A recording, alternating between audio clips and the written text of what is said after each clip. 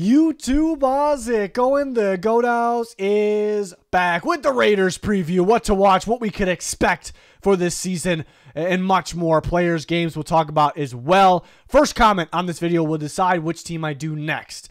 Playlist on the channel. There's also a link pinned in the comments with the teams that I've done so far. Over halfway through, we are getting to every NFL team.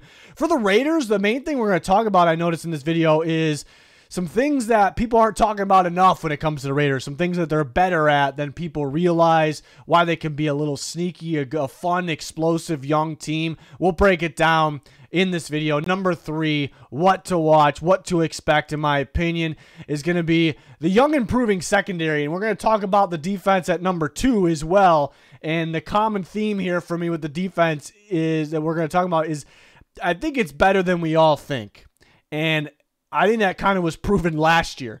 Look at it going into last year. What we looked at the the Raiders defense on paper, it looked pretty bad on paper going into last year. Like maybe the one of the worst in football. And it ended up playing way better than that. Way better than it looks on paper. And there's a couple reasons for that. Uh, having Maxx Crosby, arguably the best defensive player in football, out there is one obvious. Uh, Patrick Graham's a great defensive coach. I've always liked Patrick Graham. I think he's capable of being a head coach in this league. Um, I was a little surprised he wasn't made the interim head coach, but Antonio Pierce obviously ended up working out. Um, but uh, yeah, and then they have other young explosive players that kind of stepped up, and they had veteran guys that really stepped up. Robert Spillane is one that that really comes to mind. He played uh, outstanding football for them last year. Like on paper, the linebackers look brutal, but that you know the guys like that stepped up. So I think credit to Maxx Crosby, credit to Patrick Graham, credit to these players. Just um, you know, having that motor and, and really stepping up. And I think it could be the, a similar case this year, but they should be even better this year. You could argue, yeah, do teams try to find like their weak spots a little more properly this year? Is there more? Is there more of a game plan? But um, I think it only should get better, and it starts with what well, doesn't start with the, the, We're starting with the secondary here. I, I it's only going to get better. You know, people might view the secondary as maybe the weaker spot of that defense. But again, it, it, it, was better than expected last year, and it should only get better when it comes to the corners and the safeties. Uh, they have all young guys that. I said it a million times, but should only be progressing. I don't see any reason they take a step down. I don't really see any reason for that. But I, I, you know, I mean, Nate Hobbs, very solid young player that can play outside and inside. Only should get better. I thought he played well last year. Uh, and Jack Jones, a guy they traded for when he's on the field, Arizona State, the Patriots right away on the Patriots, and the Raiders right away on the Raiders. Like when he's on the field, he is very good, like a very good corner. It's just a matter of him staying out of trouble, you know, not not getting himself in trouble off the field. So that cross your fingers on that one because that's been his issue all the way back to Arizona State and why he went as late as he did. Um, people didn't really trust him, including myself, you know, based on the past and based on what we were hearing, but. Um, He's a really good corner, really good corner. Uh, Jakorian Bennett, who was kind of a raw prospect last year out of Maryland and got some good reps for them uh, for the Raiders last year. Athletic freak, only going to get better, only going to progress. Uh, they draft Richardson from Mississippi State, another upside guy, lengthy, athletic. I mean, it's a young group, and I didn't get to the safeties yet. Um, Marcus Epps has been pretty solid in his career, still somewhat young uh, on the younger side, but the Raiders signed him last year, so it's his second year on the Raiders with this group. Only should get better. Tre'von Moehrig, uh, really solid at TCU, and he's been all right for the Raiders so far. We're still wait. We want a little bit more because we thought this guy could be a star safety, or maybe maybe that's a little pushing a little bit, but uh, close to that. You know, another guy that with this group only, you know, with his upside only can get better. So I like this group together. They have other veteran pieces as well, but I like this young group together as they're gaining more experience together and as they are progressing because they all seem to have something in common like they're upside players that that could still progress and still can get better. So that that group could be better than it looks on paper for those reasons right there. Uh, then number two, I think the defensive line it's a sneaky great defensive line, and everyone knows Maxx Crosby's great. Everyone know Christian Wilkins. They had Christian Wilkins is great. Uh, but I think you look at this group and it's like, and most people will kind of go like, yeah, it could be, it should be a pretty good defensive line because they have those two studs. But what else do they have? But I don't think people realize, you know, Malcolm Koonce really took off last year. It's a very solid edge rusher opposite of um, Maxx Crosby. You know, they add Christian Wilkins, and I don't think people realize the impact I think people understand he's really good. He's going to make an impact, but the impact him and Maxx Crosby, Maxx Crosby and Christian Wilkins, I mean, should be absurd. Like these are already great players, and Wilkins, I actually think his best football still coming here. Um, not just because he's going to play with Maxx Crosby, but just based on the path of like the pattern of his play so far. I, you know, he's very polished stop and run. He's been getting better and better getting after the quarterback, and that's where he's still getting better. Um, so I, I, think he's about to break out even further, and that's why they paid him that much because they know they're paying him for the future. And then pair, you know, that he's playing next to Maxx Crosby, pretty ridiculous. And you factor in that Maxx Crosby was playing as good as he was already, and now you got uh, somebody legit. And guys have stepped up, like we said, guys have stepped up in the D line, played better than expected, but let's be honest here. Maxx Crosby has kind of created those guys, how good he is, and the factor that he is, and the impact and the, the offense's game planning, and, and just focused on him. It's kind of created for other guys. Um, so now he has a proven legit guy next to him. Pretty crazy, but again, Malcolm Koonce, underrated player. They have some depth on the D line. I'd imagine Jenkins probably starts. They have some sneaky guys that are pretty good depth and rotation. And then you have Tyree Wilson, who they drafted out of Texas Tech pretty high last year. And I just keep going back to my prospect evaluation on him. Uh, and, and if you remember, that was if a team drafts him and puts him strictly off the edge, he's not going to be worthy of the pick. It's too early. Not going to whoever takes him. It's going to be you know you have to use him as a versatile piece that he is because he's actually a mismatch inside, but he he has his moments outside. He just doesn't have enough get off. It was my take off the off the edge, but you have to use him as a versatile piece. And they started off the year with him just kind of strictly on the outside, and it wasn't working. And they kind of made him more of a rotational piece and kind of mixing him in in different spots. At the end of the year, we still need to see more if they're going to consistently do that. Still to be determined. But he looked a little bit better. So I, I think he fits perfectly as a ro- key rotational piece on this defensive line. We talked about the starters, especially off the edge. It's Crosby and it's Koonce. And I think Wilson could be a rotational edge piece, but on obvious passing downs, you can put him in a three technique spot. You can have all three of those pass rushers in at the same time. So I, I think it's built it's built perfectly. Like everyone kind of complements each other a little bit. And I, I think mainly with Crosby and Wilkins and, and uh, the path that Koonce is taking, and, and then the Wilson. I, Wilson could be a high end rotational piece. He really could be. I and Patrick Graham's a great defensive coach. He he, he develops defensive linemen uh, pretty well. He was there the early years with Dexter Lawrence and. Uh, when Leonard Williams was in New York, when Leonard Williams was playing his best football, he was there. So does a really good job with, with those guys. I, I think it's going to be actually one of the better. And I think people realize it's good, again, because the two headed monster in there. But they forget about some other guys. They forget about the coaching uh, on that side of the ball. And I don't think they realize it's actually one of the better defensive lines. So we talked about it. One of the better defensive lines, star players up front. Linebackers have played better than expected. Um, you know, if they continue to play that way in the secondary, I like the unit and the chemistry that they should be able to grow. Um, so now it doesn't it doesn't look as that bad on paper. It's always looked kind of bad on paper, but it's starting to look pretty good on paper, and we know they play better than how they look on paper. So it could be a scary defense here. And they again they played fairly well last year, way better than expected. One of the more surprises I thought in football. And then number one, something that no one's talking about really. I think this team has the capabilities of creating insane mismatch like problems with their receiver their weapons their receivers and tight ends and i think people talk about it with brock bowers you know they draft brock bowers and that's one of the better tight end prospects you know of all time really and, and i think when it comes to brock bowers what do people talk about in his game like physical like tough uh, moves the sticks. That's the number one for me. But people all say, yeah, he's a mismatch guy because you can put him in line, you can put him in the slot, you can put him outside. He's twitchy like a receiver at times. You know, not quite as speedy, I guess, but he's he's he's very athletic. He's twitchy in his routes like a receiver. He's really good after the catch. Um, like who do you put on this guy?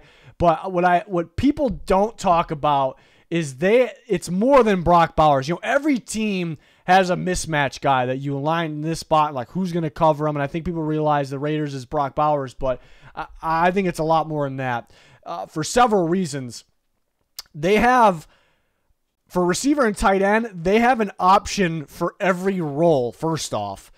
You know, they have Davante Adams, a do it all, completely a do it all great receiver. We know that. Jakobi Myers, who we'll talk about more in this video, spent most of his career playing in the slot. He played a lot more outside last year with still the ability to play in the slot. So you can move him in different spots. So you can have him outside opposite of Davante Adams, and you can have man, there's so many scenarios. There are so many scenarios. You can have Brock Bowers in the slot. You can have Mayer in line with Bowers in the slot. You can either one can go outside.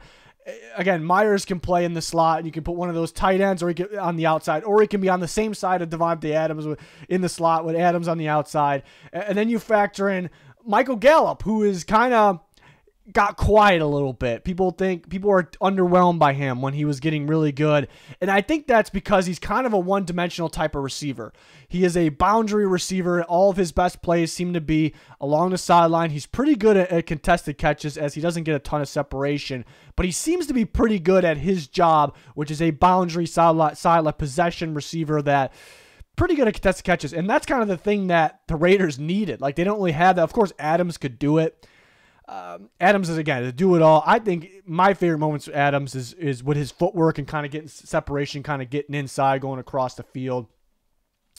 Um, you know, he was kind of the first of that, like kind of what Justin Jefferson's doing now, where what he does best. Uh, those types of receivers, like he felt like the first of that wave of type type of receivers, and more guys wanted to be like him, right? But Gallup is that guy that's not going to play an insane amount of snaps. I think he's going to be a rota- you know rotational. I mean, there'll be probably games where he starts if depending on the matchup, but he's an outside you know boundary guy. They just have so many different options, different scenarios, different alignments, and it's going to create mismatches. It's going to create when again Brock Bowers, if uh, you know in the slot, do you do you put uh is he too physical for a slot corner on the outside? Do you try to slide a linebacker over there? And Michael Mayer is such a big body contested catch beast, you know, especially in the red zone. It's like who do you? And he's a guy that doesn't play just in line. He can play ever. Who do you put on him? Jakobi Myers. Like you have to worry about like is this guy going to be outside? Is he going to be in the slot? Um, you know, very polished receiver. It's like there's just so many. And Davante Adams, of course, who actually, you know, he can do. Again, we talked about he could do everything. It's just like, how do you game plan for this?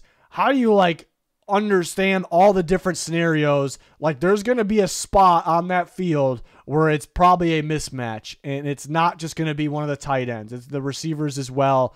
It, it's. I would think the best corner in the field is probably going to be on Adams. So actually, the mismatches, and he might just be way better than the best corner on the field in some games. So I guess it's a technically it's a mismatch, but I, I think rarely it's going to be him where it's like a complete mismatch because again, the best corner is going to be on him.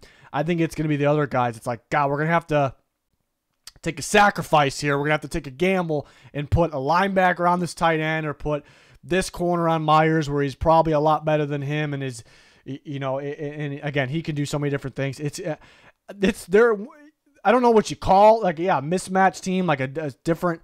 I don't know what the title is for this, but the Raiders actually sneakily could be one of the best when it comes to whatever it is I'm talking about, like what, like the uh, different scenarios, the different mismatches, the different alignments when it comes to receivers and tight ends. And I think, and, and Brock Bowers is a big piece of that because you added Brock Bowers, and that kind of was the last piece of the puzzle. Like you have everything now. You have everything. Um, and we talked about the tight ends, and they also they also brought in Harrison Bryant, who's more of a depth guy, but could be a little sneaky, um, and was supposed to be a lot better than than he was. So maybe he can figure it out in a new place. But tough room, really good room there. So uh, the quarterbacks whoever the quarterback is that's in there, whether it's Minshew or Minshew or, or, or O'Connell, that was tough to say. Um, they got it made. I think the offensive line should be a little bit better too. They've added to that. Um, I mean, there are still some spots you you kind you kind of wonder about, but I, I, think it should be better.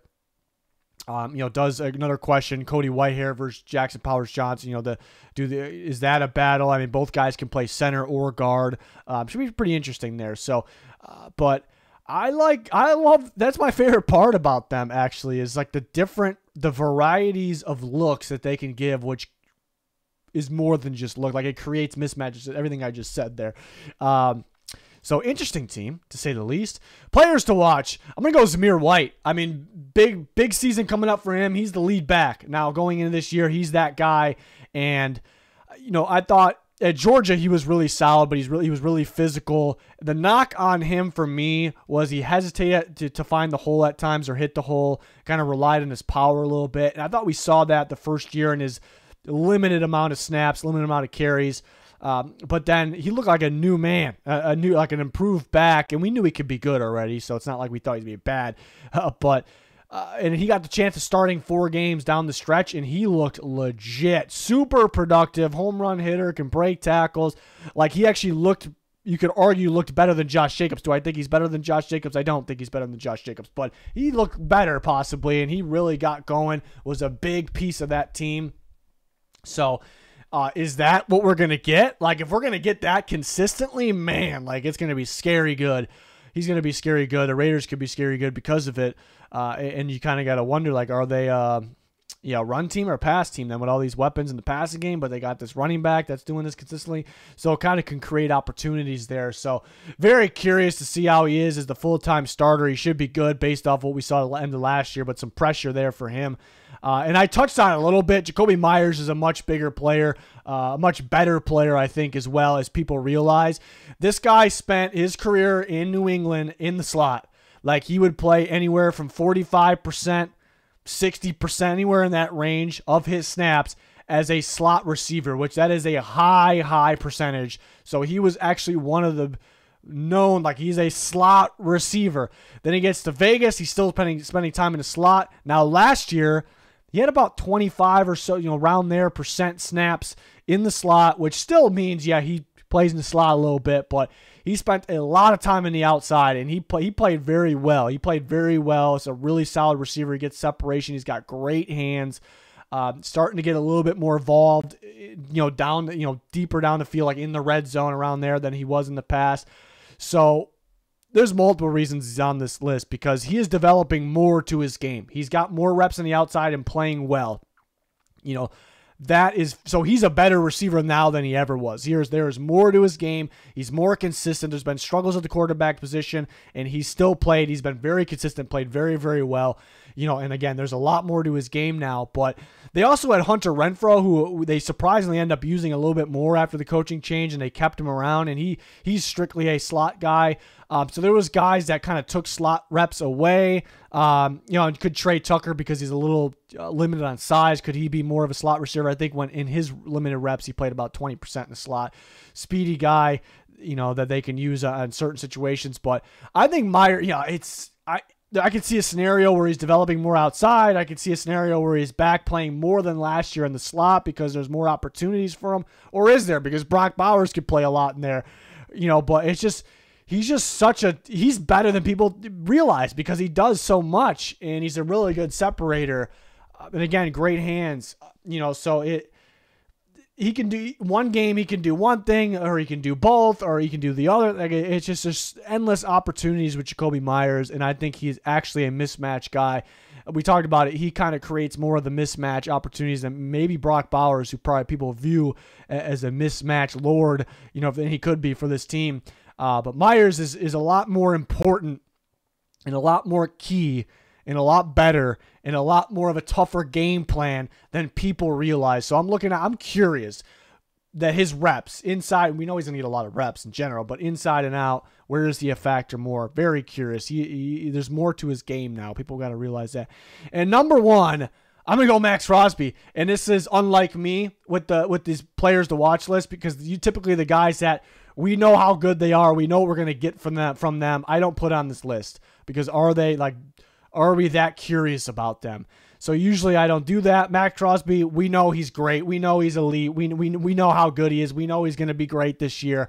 But I think he's the best defensive player in football. I th- I think he wins uh, defensive player of the year. Right now, it's my prediction, defensive player of the year for this year, and I'm gonna roll with that. I predicted at this time last year, I predicted Myles Garrett to win, and this time the year before, I predicted Nick Bosa to win. Uh, but I predicted Myles Garrett to win last year. But at the end of the year, my pick, my I didn't think he was gonna win, but my vote was for Maxx Crosby. I watch as much football as anybody. I watch an insane amount of football. I know a lot of you watch the same amount out there. What I watched was Maxx Crosby being the best defensive player in football last year um, on in every way. Like he's involved in every part of the game. He's a factor in every way. You teams fear him, and not that they don't fear Myles Garrett or T.J. Watt or Micah Parsons, guys like this. But Crosby was just so much more involved, so much more of a factor, so much more of a motor, uh, so much more of a presence to me. And I think people are kind of basing things off sack numbers, but he has great sack numbers as well. I mean, the number the numbers are great. Tackle for loss leader was he tied with with uh, you know at the top. Um, I think Danielle Hunter was up there, uh, but that if you want to go stats, that is an insanely important stat. But I am not a huge stat guy, but that meant something to me. Just always ca- causing a problem. Teams running away from him, him getting across field, making a play downfield. It's just what I watch, just watching football. That was the guy that stood out more than anyone else. Um, and, and going into the like the award, it was like no chance for Maxx Crosby, and that was a shame. That was a shame. That was my pick for the winner. Not that other guys like Myles Garrett didn't deserve it. They're definitely deserving. They're good enough, but Crosby needs so somehow this guy is as good as he is, and he gets credit, but somehow he's a little underrated. I guess um, it's crazy. So I, I think. You know how he played last year is good enough to me, but I think he actually can get better because he seems to be getting better. But you factor in it's a big piece, reason why, big piece why he's number one here. Christian Wilkins. I almost put Christian Wilkins up here because he got that big contract. He's the guy that's still getting better. How's he going to be next to Maxx Crosby? But I think Christian Wilkins plays around where he played before. He could play a little. I think he'll play a little bit better. I exactly know what I'm going to get from him. Maxx Crosby. I think because where he's already an elite player, easily elite. If you don't think so, you're wrong. Um, and he's on path of getting better. And now you add a big something he hasn't had a big time interior piece inside, uh, right, right, you know, next to him. Uh, uh he's so uh, Crosby should play out of his mind this year. So uh, that's to be my pick to win to win defensive player of the year. Hopefully they give him that that that uh, if he's deserving. Hopefully they give it to him. Um, so I'm really excited about him. One of my favorite players to watch in the league. Games to watch. I don't know if they had any of that like really like, yeah, that's the game. Mark that on your calendar. I mean, some teams have that. I mean, I like the I like the divisional games because they always give the Chiefs problems. I just kind of had a rule for myself: don't put the divisional games because no shit, they're the games to watch. Uh, the Chiefs. I like the Chargers game. The week one they play the Chargers. Uh, you know, I think with uh, you know Harbaugh, you know, and his you know mentality, like you know, physical football. I think the Raiders could match that. That's just kind of my take there. I think it's a really good matchup between the two teams, and that start right off the gate in Week One. Um, so I, I love the divisional games. How about the Browns in Week Four? You know, after the first few weeks that are usually sloppy league wide, kind of kicking into gear here. Um, I, I they have similar play styles. It's a Maxx Crosby versus Miles Myles Garrett uh, battle here too, but similar play styles. I, I think they, they, you know, you're not going to see a ton of airing it deep for these teams. Just beef would try to out physical our opponent, um, get the ball in space a little bit. We're going to pound the rock quite a few times. Uh, good, good defensive fronts, pretty good, tough defenses. So I, I, I think that's a pretty good. Uh, that's a pretty good battle there. Then uh, how about the Dolphins in Week 11? You know, kind of, it, that's right after the bye week for the Raiders, so that'd be huge. Going that last stretch of the season, are are they fighting for a wild card spot? Are they fighting for something, some playoff spot there? A seeding uh, trying to keep the season alive, whatever it may be. That'll be a huge game. It's a Christian Wilkins revenge game, I suppose, uh, in Miami, and it's that's kind of where the range after the bye week, you know, down the stretch, that last stretch, it's where the Raiders kicked it in the gear last year. Do they do it again? It's kind of where the Dolphins were, you know, because the beginning portion of the year, we're like, is this one of the best teams in football? And at this point, it's like, yeah, it's a good team, but they're starting to come back down to earth. Some injuries occur. Will they be healthy? You know, so it'd be interesting matchup. And the Saints at Saints, week 17 either of these teams, you know, if they're fighting for a wild card spot at this point, it's going to absolutely going to be a must win for both these teams. So it should be a battle. It's also a Derek Carr revenge game, Raiders versus Saints.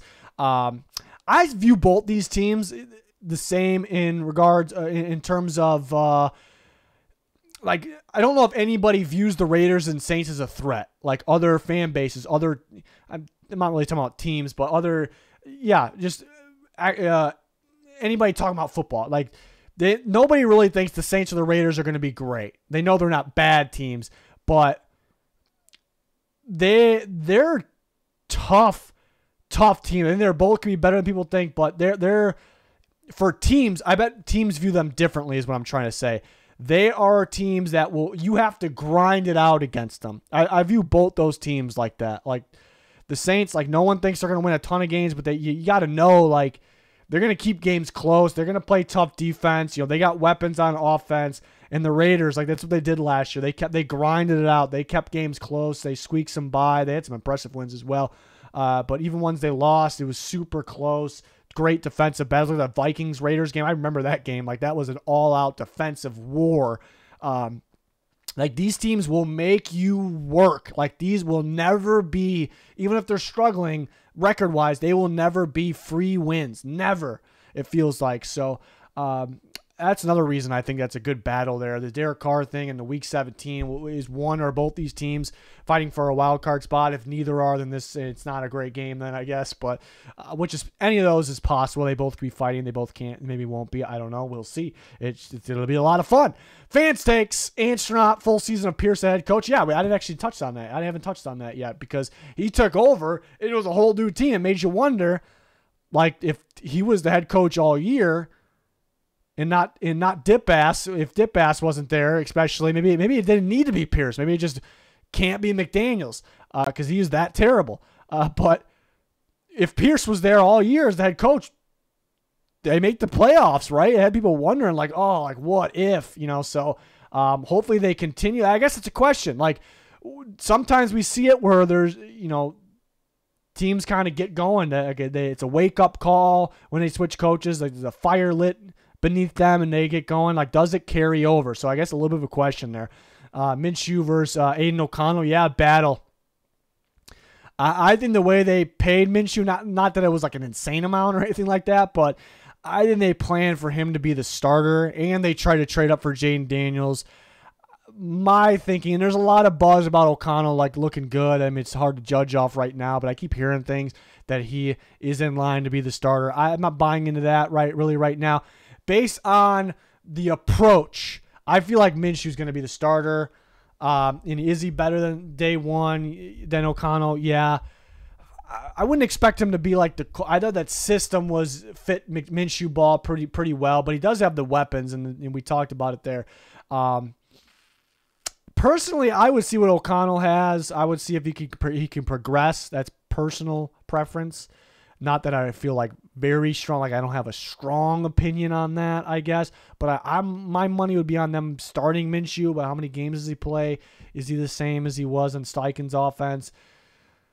We'll see. Zamir White running back room without Jacobs. Yeah, I think it'll be fine. But we kind of talked about it. Will White kind of there's a lot of there's a lot here. Will Pierce and the energy that team have and the wins they got. Will it carry over or did it die down? Zamir White, how he ended. Will it carry over or does it die down?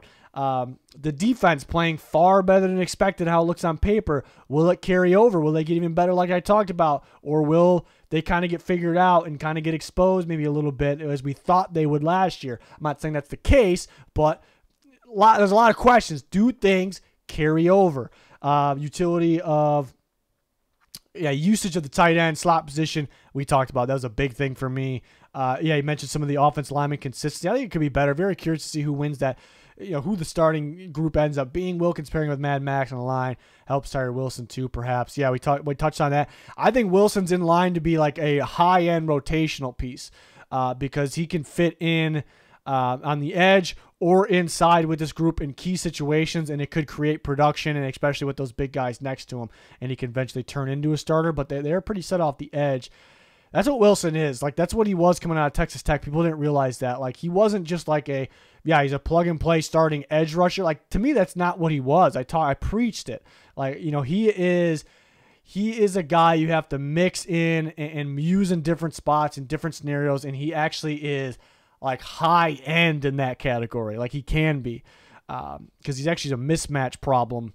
Uh, in specific situations. So if he he's a guy that actually could be his career like not saying this would be the case, but his career, he can always be like that number one rotation guy, which doesn't really sound like a great thing for a top pick, but he can be like the best in football in that in that role. So we'll we'll see um, what happens with him there. So very curious to watch. Uh, Nate Hobbs improvement Yeah, it's a solid physical corner that can play inside, outside. Jack Jones continue to progress under Graham. Yeah, it's just a matter of staying on the field with him. Linebacker duo, Spillane and, and Deablo. Remember, Deablo was a safe safety turn linebacker, so he could uh, kind of improve a little bit with more uh, more experience, more seasoning. Can they play to the heights, their heights of last? Yeah, we touched on that. Like one part of me is like they got to be better, right? Because they've added a big piece. They've they guys got, got a ton of guys getting better and growing, progressing and gaining chemistry. Um, but then, yeah, do they kind of get figured out? I guess that's a possibility as well. Cam Sullivan, don't have any questions. Uh, Raiders only win a few games before the trade deadline. They end up trading Adams in what becomes a rebuild year. Yeah, that's another take on it too. That's very like if they're struggling, do they? You know, they probably should they probably should look to trade Adams if they're struggling and just because he's not going to be like part of their their long term futures. It's still what they're kind of looking at. Uh, we see Minshew much earlier than expected. AOC takes a backup role for the majority of the season. It's kind of my prediction, but hearing good things about AOC lately, despite not being all being all on him, a long a losing season means Pierce is replaced before the start of next season. Yeah, it's a little bold. But if they were really, really bad, maybe they're like, yeah, interim coaches don't work out. It was kind of the fluky thing last year. I don't know if that will be end up being. It's pretty bold. I don't know if that up being the case, but I guess you could see a scenario where it happens. Raiders end the year with a top 10 draft pick. So you think they'd be targeting a quarterback. They tried to last year. Think they'd be targeting one this year. Um, we'll see what happens in college football this year. And Adam, how, how will Minshew look going from Steichen scheme? Yeah, I touched on that. Getsy got a lot of ripping in Chicago. I do think he was trying to game plan around being a little limited. Fields Fields deserved a little bit more of the ripping than Getsy, but the fans didn't really want to do that. Obviously, Fields could run, but he's very inconsistent finding open targets and being a consistent passer. So Getsy was trying to like adjust his I think his playbook was like this and it ended up like this. I think it would happen. He tried to adjust on the fly to Fields' strengths because in the beginning of the year they're like, all right, he's going to develop as a passer and it didn't really happen. Um, so it's tough to say. Uh, but I, I, Minshew, I really fit. He really fits Steichen's offense. So I think better than Getsy's. I think will end up being the case. But he has some players that really fit. Like you know, Bowers again the, the mismatch guys we talked about. Like it should be really simplified for Minshew. He should be able to roll out and get those guys the ball underneath. It's a really Minshew and Bowers like really fit like the play style there. So maybe that makes up from losing Steichen in Minshew's mind there.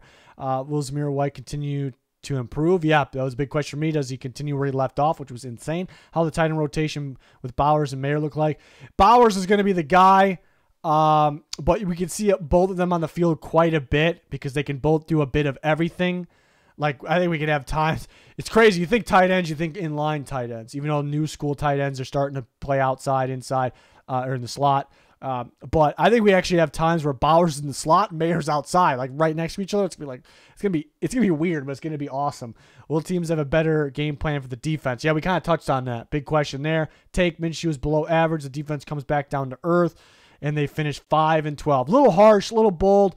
Um, not maybe it's not super bold because uh, Minshew could be below average, like at times he's been, and the defense I think the defense is going to be solid. If you have Maxx Crosby and Christian Wilkins, I think it's bound to be solid there. But they do they have some tough opponents in the division.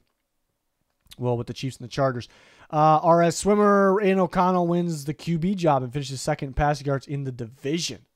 Whoa, that's bold. So I would imagine you're saying ahead of Herbert. Uh, that's that's pretty bold. Maybe thinking maybe he's thinking Harbaugh's just gonna pound the football all day. I don't really know if that's going to be the case, but yeah, this is super bold. Um, I think Minshew wins the job, but I'm not like 100% on that, not guaranteeing anything, but we will see. O'Connell definitely can win it. Uh, but I don't think he finished the second passing yards division. Uh, who do you see winning the QB battle? I talked about that, Minshew. Uh, and which do you think would be the better long term? Definitely O'Connell. Like if it was my decision, I'd probably, I'd have to see them. I'd have to be in the room and be on the field and practice preseason, whatever. Um, but I right now like where's Minshew really gonna? Uh, it's a good fit. Ah, it's, it's tough because I, I do think Minshew probably plays better. So don't you want to start the guy that plays better? But O'Connell could grow. I want to see where he got to and if he can be the guy. I think they know he's not going to be the guy. If they sign Minshew to that contract and they try to trade up for Jayden Daniels, I I, I think they kind of know. So that's a tough one on who I would pick. I, I need to be in there. I need to be in there. Um, I really think Minshew's going to be the guy. That seemed to be the approach in the offseason uh, to replacing O'Connell, but we'll see. Uh, where am I? What do you see this year recently with Tyree Wilson? Yeah, we kind of touched on. I think a glorified rotational piece. Have to use him right. Can't just you can't just have all the snaps off the edge. That's not him. That is not him. I turn second. I turn on the tape at Texas Tech. I saw that he is not strictly an edge player. He's honestly probably better inside because he's strong enough, long enough, physical enough, has that motor. I really he doesn't have the get off off the outside. Could it could the get off the timing get better? Sure, but it's not something that you see a guy change much even once they're in college to the NFL. It's kind of something coming up that you have or you don't. It's weird, uh, and it's a big part of the edge. I think that's his number one problem. Um, and maybe we're just relying on length and physicality out there, which is usually a good thing though. Like if you have that, and he does, so he can get better off the edge for sure. Um, I, I just really hope this year. I think perfect opportunity to be a high end rotational guy. Uh, come in on obvious passing downs uh, and play. You can have you could have Crosby, Crosby, Wilkins, Wilson, Koonce on obvious passing downs. I freaking love that. Um, and he if and again, you have Crosby. I, Crosby's not going to need a breather really. If Koonce needs a breather, or if he's not playing well, you put Wilson out there. Um, you know, the, two for one special on a high end rotational piece. So I think that is where he's going to make his money and eventually turn into a starter and finding that role. Um, there's some teams that out there that they would just start him at like a uh, tech, like three technique when your teams that really value that. Or if he was on a three four team, would he play DN for those teams? Um, and there's some teams that would give him a shot in the outside, but he's got to develop a little bit more on the outside. But I, I think he's in a perfect role for this year, and it's and it's. I said it a million times, being a high end rotational piece. Like we can't put the high expectations to put. You know, I think it's unfair to say he's gonna be a starting edge rusher over the two good edge rushers they have. Um, and be great right now. I think that's unfair. I think he's in a perfect spot to kind of ease back into it and be a key piece at the same time. So we'll, we will see. But definitely a young player to watch. So it's a fun player if used correctly. Uh, but that will do it for this one. A lot of fun. Uh, we have a bunch of teams done. There's a link pinned in the comments for the playlist. You also can go to the channel and find the most recent playlist, and that is uh, this series with all the teams that we have done. Uh, make sure you check out our Twitter to play along. Link in the comments for that, as well as our sponsors, GLD Shop, Liquid IV, code GOAT for a percentage off. It's going to do it. Thanks for watching. Goodbye.